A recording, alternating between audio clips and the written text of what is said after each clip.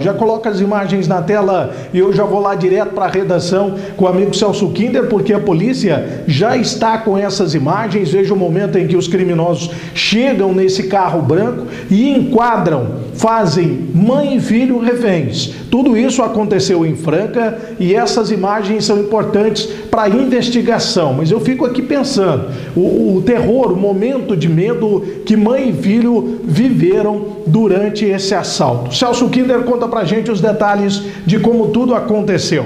Boa noite. Vamos a eles, Samuel Sintra. Boa noite a você, o amigo internauta e também o amigo telespectador.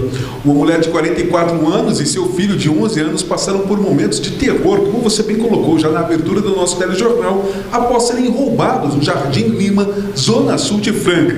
Câmeras de segurança flagraram a ação dos bandidos. A mulher estacionou o carro na rua de cima de uma pizzaria aonde iria com o filho. No momento em que eles saíam do carro, foram surpreendidos por dois criminosos que desembarcaram de um Chevrolet Onix. Nas imagens é possível ver ao menos três criminosos. Dois deles estavam encapuzados.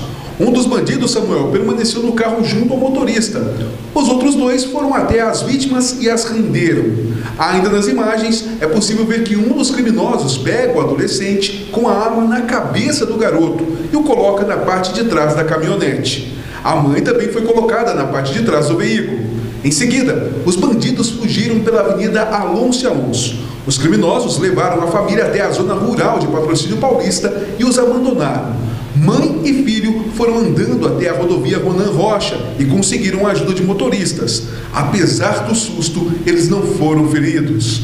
O caso foi registrado na Central de Polícia Judiciária e está sendo investigado, Samuel Sintra. Pois é, a gente fala assim, não foi ferido, é porque não teve uma lesão aparente, mas o trauma que fica para uma criança como essa aí é algo que jamais ela vai se esquecer. Momentos, né, em que passa ali pela vida tanto da mãe como do filho, se eles vão sair dessa vivos ou não, porque eles pegam mãe e filho, colocam de volta na caminhonete e depois eles fogem com o veículo. Você imagina é, o que deve passar na cabeça dessa criança e também desta mãe que estava é, fazendo ali um passeio comum, como qualquer um de nós fazemos é, praticamente aos finais de semana, que ir a uma pizzaria e de repente você é vítima da ação de criminosos, uma ação realmente violenta. E é claro que agora a polícia vai trabalhar também com essas imagens, e eu não tenho dúvida que com a competência do setor de investigação,